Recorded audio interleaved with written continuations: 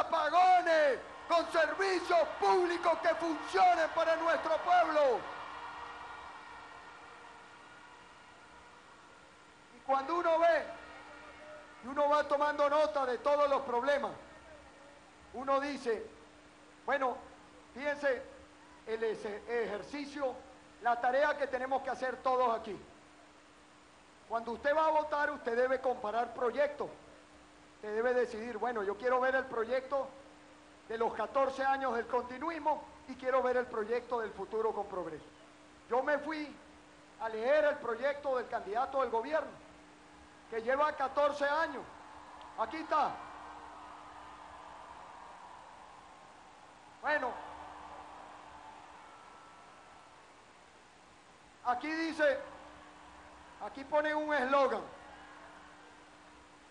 Yo lo he dicho y lo repito, una cosa es, una cosa es creerse el corazón de la patria y otra cosa es tener a la patria en el corazón.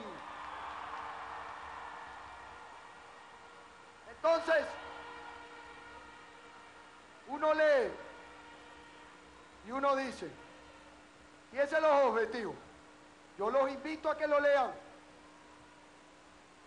Bueno, defender, defender, consolidar lo que conquistamos hace más de 200 años, la independencia nacional.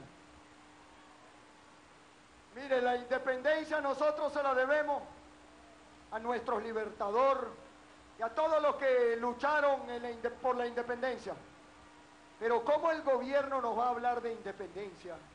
Si usted sale de aquí, mi hermano, y lo atracan, si a usted se le va la luz, si a usted no le alcanza para ir al mercado y comprar los alimentos para su familia, si a usted, bueno, para ejercer su derecho le piden que se ponga la franela de un color, o si para usted formar parte de una misión le dicen inscríbete en el partido político, ¿de cuál independencia nos va a hablar este gobierno?